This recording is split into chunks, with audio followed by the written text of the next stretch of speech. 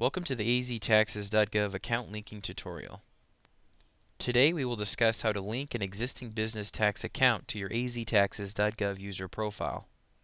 From the aztaxes.gov homepage, click on the Log On to AZTaxes button. Log into your user profile by providing the username and password that were established during the aztaxes.gov new user registration process. For more information regarding this process, please visit www.azdor.gov or follow the step-by-step guidance provided in the new user registration tutorial found at www.aztaxes.gov. If you currently do not have any accounts linked to your user profile, you'll be directed to an online services and businesses page that provides options for new and existing businesses. Click on the blue Link Accounts button under the Existing Businesses heading. If you do not have an existing business's account to link to your user profile, please visit www.azdor.gov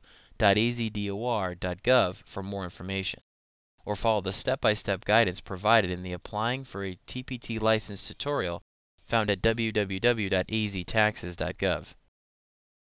If you already have a business tax account linked to your user profile and wish to link another account, you will be directed to the business list screen upon logging in. Select Business Registration from the options listed on the menu on the left side of the screen, then select Business Account Linking from the submenu. This will bring you to the Business Account Linking page, which explains that you will be the primary user for any business that is registered through this user profile. There can be only one primary user for each profile, and it is recommended that the primary user be an officer or owner of the business. The primary user will have the authority to assign and manage delegate users as needed. When you have read the information needed to get started and are prepared to proceed, check the box indicating that you have the required information and click on the blue Continue button to begin the linking process. You will be directed to a page titled Business Registration Taxpayer Information. Here you will be prompted to provide some information regarding the business that you're attempting to link. First, select the tax ID type. For this demonstration, we have selected the Employer Identification Number, or EIN. Next, provide the tax identification number in the field provided. In the next field, you must provide the complete legal business name as reflected in the Arizona Department of Revenue records. Entering a Doing Business As or DBA name will cause the linking request to be suspended and possibly denied. You will then be prompted to provide only the last name of an owner or corporate officer of the business as listed in the Arizona Department of Revenue records. In the following field you will enter the last four digits of the owner's or officer's as named in the prior field Social Security number. If the owner's or officer's name does not match the number provided, this link request will be denied. Finally, you will be prompted to indicate whether you or any agent of the business has made a payment in the last 12 months. The default answer to this question is no. If you have made a payment in the last 12 months, select yes. Once you have made your selection, check the box confirming that you are not a robot and click on the blue Save and Continue button at the bottom of the page. For this example, we have indicated that a payment has been made within the last 12 months.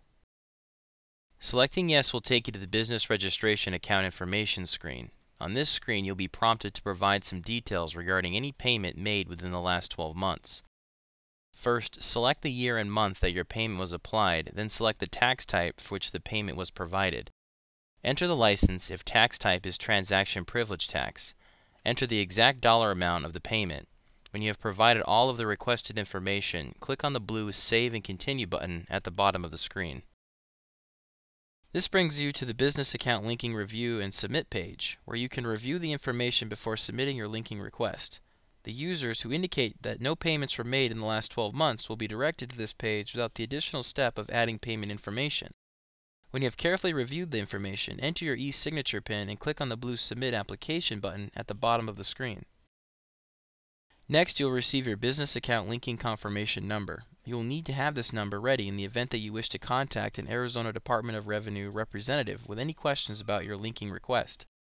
Customers are advised to allow up to 24 hours for each linking request to be processed. However, many users find that this request is processed in as little as 4 hours. If processed successfully, you will see the linked business tax account in your business list the next time you log into your aztaxes.gov user profile. Under the status column, requests to link will be displayed as either in progress, completed, or suspended. Congratulations, you have successfully linked a business tax account to your aztaxes.gov user profile. Thank you for your time today.